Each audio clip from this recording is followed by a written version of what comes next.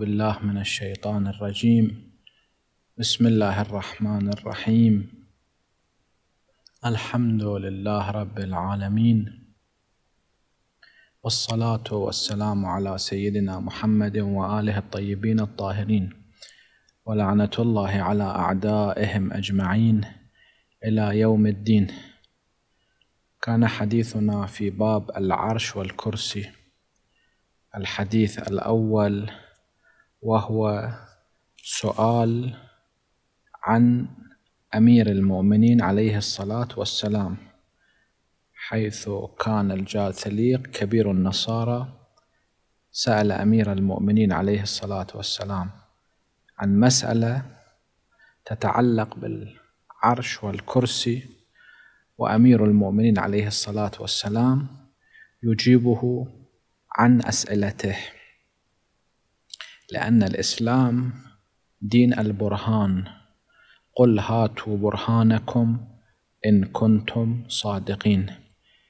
فالإسلام يبتنى على البرهان ويسمح لأصحاب الديانات الأخرى أن يطرحوا أسئلتهم والأسئلة هذه مجاب عنها في القرآن وفي الأحاديث الشريفة أو يدل على جوابها العقل.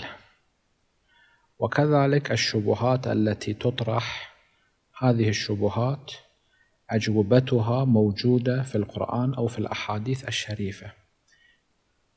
فهنا يأتي الجاثليق ويسأل أمير المؤمنين عليه الصلاة والسلام أن الله حامل الأشياء أو هو محمول فإذا قال حامل الأشياء هنا يعترض ويقول أن القرآن يدل على أن الله على العرش والعرش يحمله ثمانية. فكيف تقولون أنه حامل للأشياء مع أنه محمول؟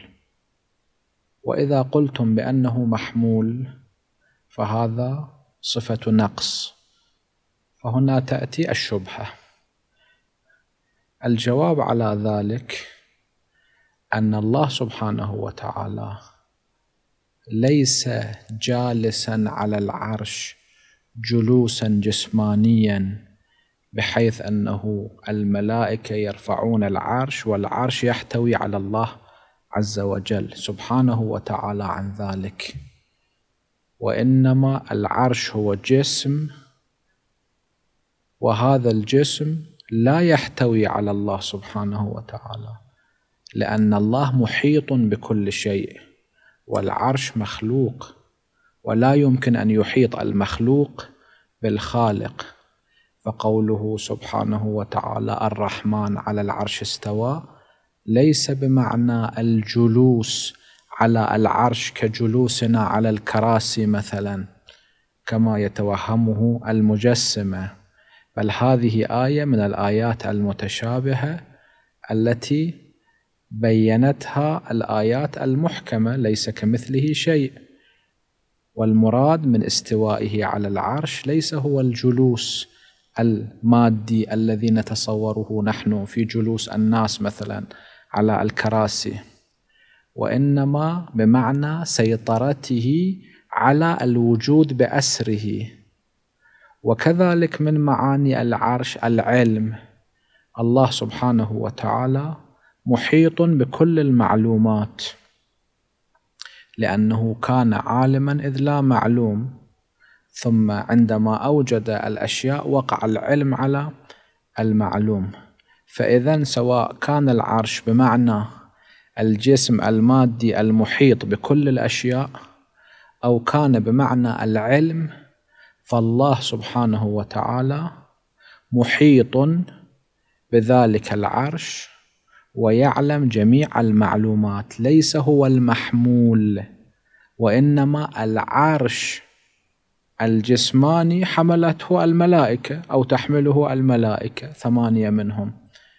وكذلك العلم الله سبحانه وتعالى أفاضه على بعض المخلوقات فهم يحملون شيئا من ذلك العلم ولا يحيطون بشيء من علمه إلا بما شاء. هنا الله سبحانه وتعالى ليس محمولا وإنما الله سبحانه وتعالى ممسك كل شيء. إذا تفسر الحامل بمعنى الإمساك إن الله يمسك السماوات والأرض أن تزولا ولئن زالتا إن أمسكهما من أحد من بعده إنه كان حليما غفورا. وقد ذكرنا تفسير الآية في الحلقة الماضية. فالإمام عليه الصلاة والسلام الإمام أمير المؤمنين يبين في هذا الحديث أن العرش مخلوق. فقبل أن يخلق الله سبحانه وتعالى العرش لم يكن هناك عرش حتى تتصور جلوسا على ذلك العرش من قبل الله تعالى عن ذلك علوا كثيرا. فلما خلق العرش لم يجلس عليه كجلوس أحدنا على الكراسي لأن هذا يستلزم إحاطة المخلوق بالخالق كإحاطة الكرسي بمن يجلس عليه ويستلزم الافتقار والاحتياج. ويستلزم أن يكون الملائكة الحمله للعرش هؤلاء يحملون الله سبحانه وتعالى وهذه صفة نقص والله منزه عن كل ذلك وإنما الله سبحانه وتعالى خلق العرش من أنوار مختلفة. بس حقيقة هذه الأنوار مجهول لدينا لأن هذه أمور من الملكوت. نحن عالم الملك نجهل كثير من تفاصيله والعلم الحديث على رغم التطور الهائل الذي تطور فيه. يقر علماء العلم الحديث بأنهم يجهلون أكثر مما يعلمون يعني الحقائق في هذا الكون والقوانين في هذا الكون كثيرة جدا بحيث أن هذا العلم على رغم التطور الكثير الذي حدث لم يكشف إلا جزءا صغيرا من حقائق الكون. الكون الذي نحن نعايشه عالم الملك. فإذا حقائق عالم الملك يعني هذه الدنيا التي نعيش فيها أكثرها مجهول لدينا. فعالم الملكوت وهو عالم الملك العظيم لله سبحانه وتعالى. هذا العالم بطريق أولى مجهول لدينا. فكيف خلق الله العرش؟ هذا نجهله. نعم هذه الرواية يبين أمير المؤمنين عليه الصلاة والسلام فيها أن الله خلق العرش من أنوار أربعة نور أحمر نور أخضر نور أصفر ونور أبيض. لكن ما هو المقصود من هذا البياض وهذه الخضرة وهذه الصفرة وهذه الحمرة؟ هذا أمر لم يبين في الروايات. نعم بعض الشراح لأصول الكافي بعنوان الاحتمال ذكروا بعض الوجوه لكن هذه الوجوه مجرد احتمالات. فلذلك نحن نعرض عنها صفحا لأنها ترتبط بعالم الغيب ولم يبين لنا ونحن بالنسبة إلى عالم الغيب المقدار الذي بين لنا إلى هالمقدار نتعبد به ونصدقه ونذكره ولكن ما سوى ذلك من أمور كثيرة في عالم الغيب نجهلها ولم تبين ولم تبين لنا نحن نؤمن بها ونؤمن بقدرة الله سبحانه وتعالى وإحاطته على الغيب وعلى الشهادة لكن تلك الحقائق شنو هي؟ نقر بجهلنا وعدم علمنا بتلك الحقائق ولا يحيطون بشيء من علمه إلا بما شاء.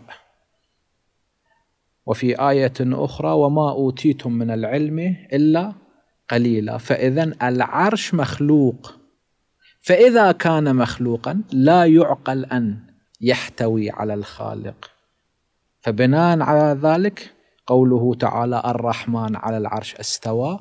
لا يراد به المعنى الظاهر الحقيقي من الاستواء وإنما يراد به معنى كنائي ومجازي بمعنى سلطته على الأشياء أو معاني أخرى ذكرناها فيما مضى. لذا أمير المؤمنين عليه الصلاة والسلام يقول حينما هذا الجاثليق كبير النصارى يسأل أخبرني عن قوله ويحمل عرش ربك فوقهم يومئذ ثمانية.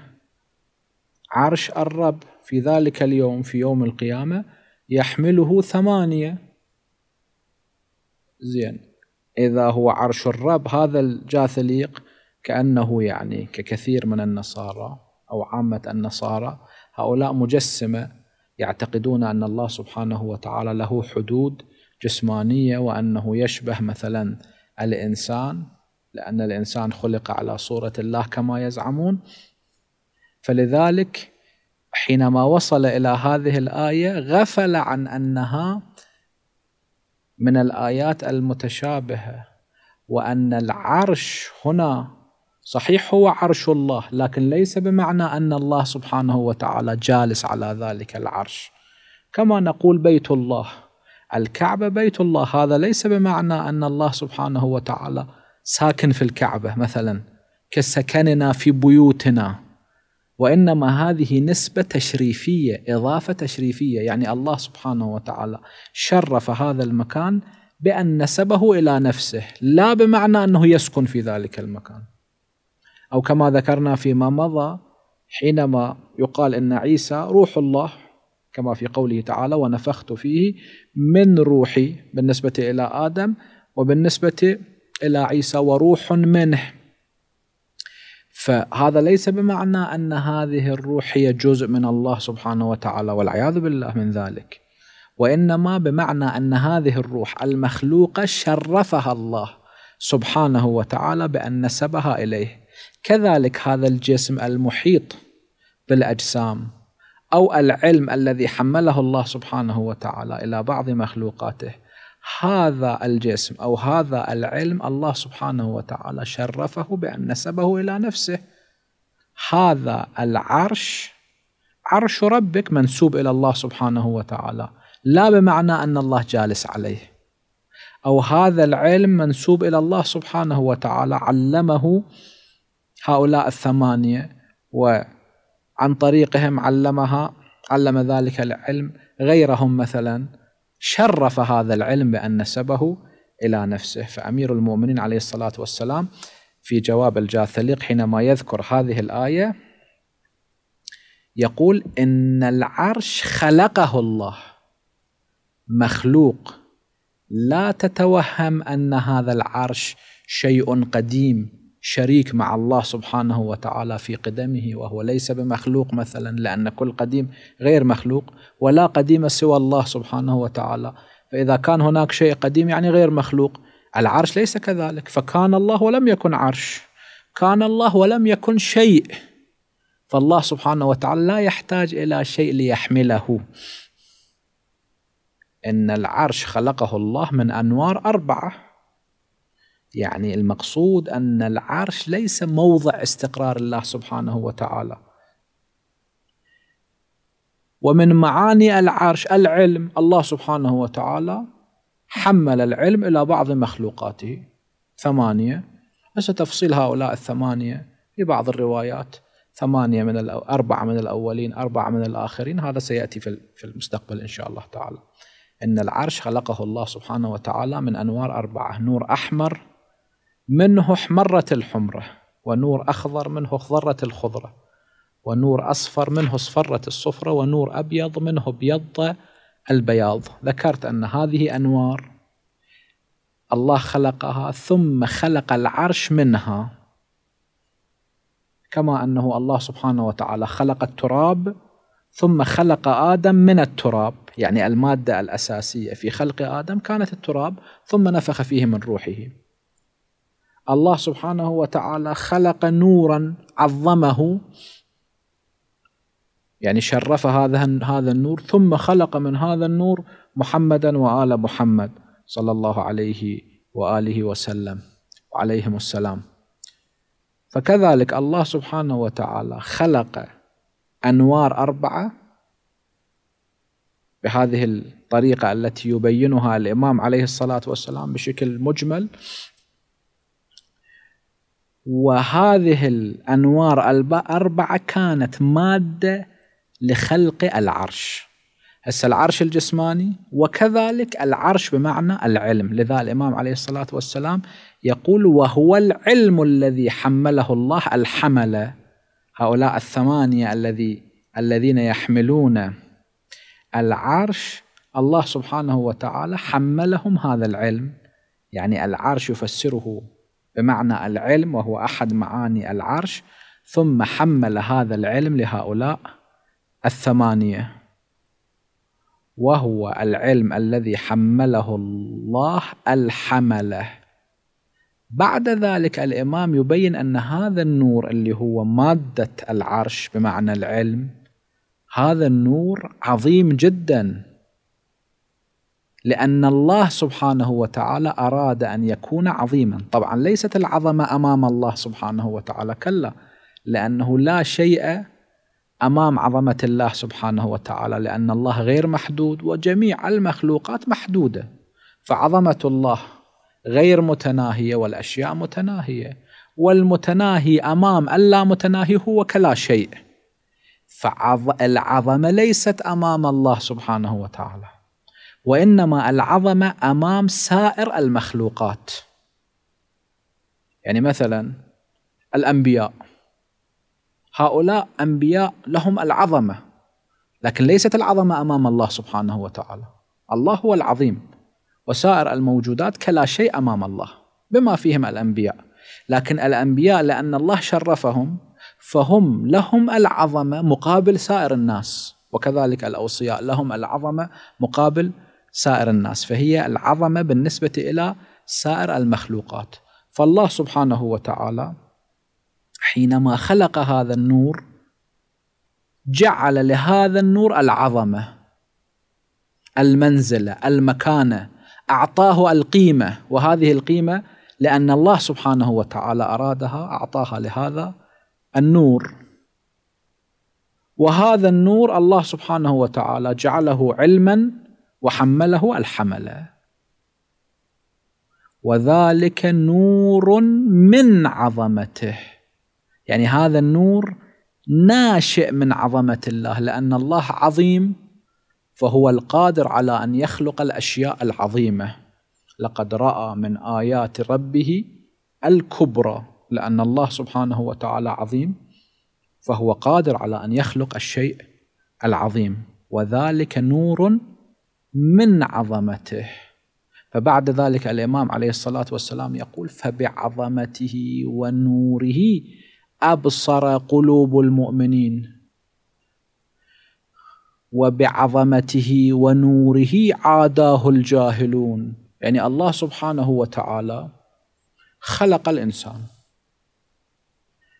كل كمال كما ذكرنا فيما مضى. هو من الله سبحانه وتعالى لأن الله هو الكمال المطلق وكل كمال موجود في هذا العالم هو ينشأ من الله سبحانه وتعالى بإرادته وقدرته. فإذا الناس يعرفون الله سبحانه وتعالى أو يعادون الله سبحانه وتعالى لأن هناك ناس أعداء الله وهناك ناس أولياء الله. كيف أولياء الله سبحانه وتعالى؟ عرفوا الله سبحانه وتعالى. لأن الله أفاض إليهم المعرفة. لأن المعرفة كمال. والله سبحانه وتعالى أفاض إليهم المعرفة فعرفوا الله سبحانه وتعالى.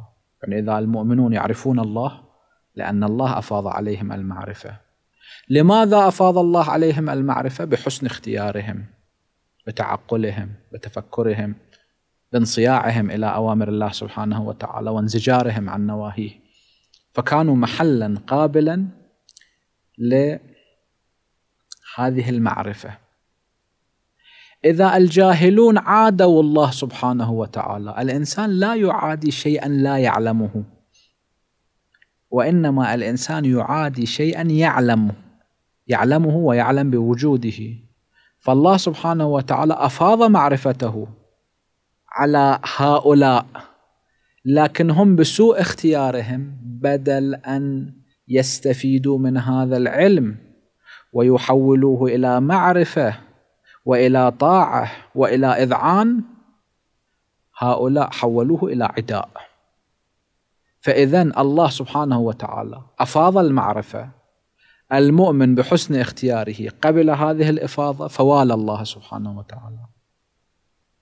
وأعداء الله بسوء اختيارهم رفضوا هذا العلم فعادوا الله سبحانه وتعالى مع علمهم بوجوده وجحدوا بها واستيقنتها أنفسهم. لذا الإمام عليه الصلاة والسلام يقول فبعظمته ونوره أبصر قلوب المؤمنين. يعني قلوب المؤمنين أبصرت بسبب هذه العظمة وهذا النور الذي أفاضه الله سبحانه وتعالى على قلوبهم. الله سبحانه وتعالى حمل علم معرفته الجميع. يعني في عالم الذر الله سبحانه وتعالى حينما خلق الناس جميعا كالذر قال ألست بربكم؟ قالوا بلى. فجميع الناس بمؤمنهم وكافرهم ومنافقهم وكبيرهم وصغيرهم بفطرتهم يعرفون الله سبحانه وتعالى. صحيح البعض ينكر بلسانه لكن الإذعان بوجود الله سبحانه وتعالى هذا موجود في فطرة كل إنسان لكن واحد يريد أن لا يصدق لا يعقد قلبه فيكون كافرا أو منافقا. فبعظمته ونوره أبصر قلوب المؤمنين. وبعظمته ونوره عاداه الجاهلون. لأن الإنسان لا يعادي شيئا لا يعلمه وإنما يعادي الشيء الذي يعلمه. فهذا يعلم بالله سبحانه وتعالى لكن لا يستفيد من هذا العلم لا يستفيد من هذه الفطرة التي الله سبحانه وتعالى جعلها فيه. فيعادي الله سبحانه وتعالى وتتم الحجة على هذا الإنسان. الآية الشريفة تقول أفرأيت من اتخذ إلهه هواه واضله الله على علم. يعني الله اضله لكن هو يعلم بسوء اختياره. انحرف عن الطريق فأضله الله يعني تركه حتى يضل لم يوفقه. الله سبحانه وتعالى يوفق المؤمن ليصل إلى النتيجة المطلوبة. لكن إذا الإنسان اختار الطريق الأعوج الله سبحانه وتعالى قد يقطع عنه لطفه بأن لا يوفقه لأن ذلك الإنسان بسوء اختياره اختار طريق الشر فيتركه الله سبحانه وتعالى حتى يضل. مثل كما ذكرنا فيما مضى هذا المثال. أنت تشوف واحد يريد أن يسلك الطريق الصحيح ترشده إلى الطريق الصحيح. دلي تقول هذا هو الطريق الصحيح. امشي به استمر به إذا فد يوم أو فد لحظة شفت أنه قد يعوج عن الطريق المستقيم تنبهه تقول له لا استمر على الطريق المستقيم. أما أكو واحد هذا لا ينصاع ولا يطيع ولا يهتم بكلامك أنت تشوفه أنه دا يمشي في الطريق الأعوج تتركه. لماذا تتركه؟ يقولون لك لماذا تركته؟ تقول لأنه لا يطيع لا يفيد أن أتكلم معه وأظله الله على علم. يعني هذا هو يعلم ولكن بسوء اختياره ترك الحق فالله سبحانه وتعالى تركه حتى يضل. أما المؤمن الله سبحانه وتعالى يقول بل هو آيات بينات في صدور الذين أوتوا العلم. الذين آتاهم الله العلم وهؤلاء أرادوا أن ينتهجوا النهج الصحيح وأن يطيعوا الله سبحانه وتعالى تعالى بالائتمار بأوامره والانزجار عن نواهيه. الله سبحانه وتعالى يؤتيهم العلم ويجعله آيات بينات في صدورهم بل هو آيات بينات في صدور الذين أوتوا العلم.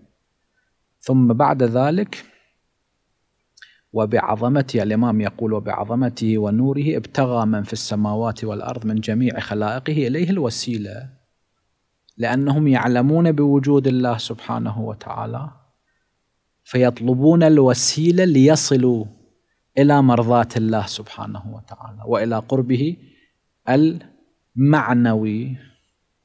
يا أيها الذين آمنوا اتقوا الله وابتغوا إليه الوسيلة. هذه الوسيلة قد تكون الأعمال وقد تكون أشخاص. أما الأعمال كالصلاة والصيام والعبادات الأخرى والطاعات هذه وسيلة تقرب الإنسان إلى الله قربا معنويا وتقرب الإنسان إلى مرضاة الله سبحانه وتعالى. وقد تكون وسيلة بشرية كما في قوله أولئك الذين يدعون يبتغون إلى ربهم الوسيلة أيهم أقرب. يعني الملائكة الذين يدعوهم هؤلاء الكفار باعتبارهم بناتا لله سبحانه وتعالى هؤلاء الملائكة ليسوا هم بنات لله. هم عبيد مربوبون لله سبحانه وتعالى وهم يبتغون الوسيلة إلى الله. هذه الوسيلة أيهم أقرب؟ وسيلة من ذوي العقول لذا قال أيهم أقرب؟ الملائكة يطلبون الوسيلة إلى الله وسيلة بشرية. وهذه الوسيلة البشرية هم محمد وآل محمد صلى الله عليه وآله وعليهم الصلاة والسلام كما في الأحاديث الشريفة. وهكذا كان سائر الأنبياء وسائل إلى الله سبحانه وتعالى. ولذا نجد مثلا أبناء يعقوب على نبينا وآله وعليه الصلاة والسلام. هؤلاء أرادوا أن يستغفروا ذنوب ذنبهم الذي فعلوه بيوسف وبيعقوب. جاءوا إلى يعقوب قالوا يا أبانا استغفر لنا ذنوبنا إنا كنا خاطئين. يعقوب لم يقل لهم اذهبوا إلى المسجد أو المعبد وتوبوا إلى الله سبحانه وتعالى خط مباشر بينكم وبين الله سبحانه وتعالى. يعقوب أقرهم في كلامهم قال سوف أستغفر لكم ربي. ففي ليلة الجمعة طلب من الله سبحانه وتعالى أن يغفر لهم. بالنسبة إلى رسول الله محمد صلى الله عليه وآله الآية الشريفة تقول ولو أنهم إذ ظلموا أنفسهم جاءوك فاستغفروا الله واستغفر لهم الرسول لوجدوا الله توابا رحيما. الآية لم تقل أنه لو أنهم ظلموا أنفسهم ذهبوا إلى المسجد بينهم وبين الله سبحانه وتعالى. لا جاءوك لأنه هذا هو الوسيلة. صحيح أنت تتمكن أن تناجي الله سبحانه وتعالى وتدعوه بطريق مباشر لكن أيضا أنت بحاجة إلى وسيلة. جاءوك فاستغفروا الله واستغفر لهم الرسول. لو فعلوا ذلك لوجدوا الله توابا رحيما. اذا جميع الخلائق من الناس من الجن هؤلاء يعلمون الله حملهم العلم يعلمون بأنه الخالق هو الله سبحانه وتعالى فيطلبونه. لكن الأكثر أخطأ الطريق. بدل أن يروح إلى الطريق الصحيحة راح إلى الطريق الخطأ. نشوف يعني مثل الإنسان مثلا الجائع. الإنسان الجائع أيا يكن يطلب طعاما. قد يجد الطعام الذي يناسب الجسد فيأكله فحاجة الجوع يرفعها وأيضا حاجة الجسد إلى المواد المختلفة يؤمنها عبر الأكل. لكن قد يخطئ الإنسان في اختيار المأكول فيأكل الطعام المسموم مثلا أو الطعام الذي يضره فيتمرض أو يموت. فهو يشعر بحاجة يذهب لقضاء هذه الحاجة الجسدية قد يصيب وقد يخطئ. كذلك الإنسان الله سبحانه وتعالى جعل في فطرته أن يطلب الرب سبحانه وتعالى فقد يذهب إلى الطريق الصحيحه عن طريق الأنبياء والأوصياء. وقد يذهب إلى الطريق الباطل. لذا الإمام عليه الصلاة والسلام يقول وبعظمته ونوره ابتغى من في السماوات والأرض من جميع خلائقه إليه الوسيلة بالأعمال المختلفة والأديان المشتبهة. يعني بعض الأحيان تشوف ناس يعبدون الله سبحانه وتعالى بطريقة بدعية بدع. أو يتخذ دين باطل. كل هؤلاء الأديان الباطلة والأعمال الخاطئة والعبادات البدعية هذه سببها أن الإنسان يريد أن يطلب الله سبحانه وتعالى لكن أخطأ الطريق. عليه أن يختار الطريق الصحيح وهي العبادات الصحيحة التي أنزلها الله سبحانه وتعالى على أنبيائه وبينها الأوصياء وأن يختار الدين الحق الذي أنزله الله سبحانه وتعالى. فاذا العلم هذا هو الذي خلقه الله سبحانه وتعالى يعني المعلومات من نور عظمته. فهذا هو المحمول. لا أن الله هو المحمول. فلذا الإمام عليه الصلاة والسلام يقول فكل محمول يحمله الله بنوره وعظمته وقدرته. الله سبحانه وتعالى يحمل كل شيء. إن الله يمسك السماوات والأرض أن تزولا. هم في أصل وجود ذلك الشيء وأيضا في استمرار ذلك الشيء في الوجود. لأن الله سبحانه وتعالى ليس خلق ثم ترك الخلق بحيث يقول اليهود يد الله مغلولة غلت أيديهم ولعنوا بما قالوا بل يداه مبسوطتان. الله سبحانه وتعالى خلق الخلق واستمرار وجود الخلق أيضا مرتبط بإرادة الله سبحانه وتعالى حيث يفيض الوجود بشكل مستمر على المخلوقات. فكل محمول يحمله الله بنوره وعظمته وقدرته لا يستطيع لنفسه ضرا ضرا ولا نفعا ولا موتا ولا حياة ولا نشورا. التضمين لآية شريفة.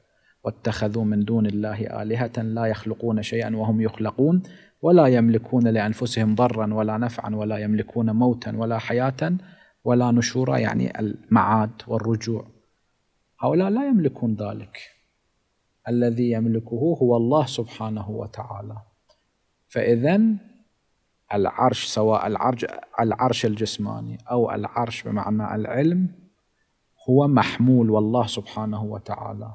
يحمل ذلك الشيء يمسكه وليس ذلك العرش الجسماني أو العلم هو الذي يحمل الله سبحانه وتعالى لأن ذلك صفة افتقار ونقص. والله سبحانه وتعالى منزه عن كل نقص. وللحديث تتمه نتركه إلى حلقة قادمة بإذن الله تعالى. هذا وآخر دعوانا أن الحمد لله رب العالمين. وصلى الله على محمد وآله الطيبين الطاهرين.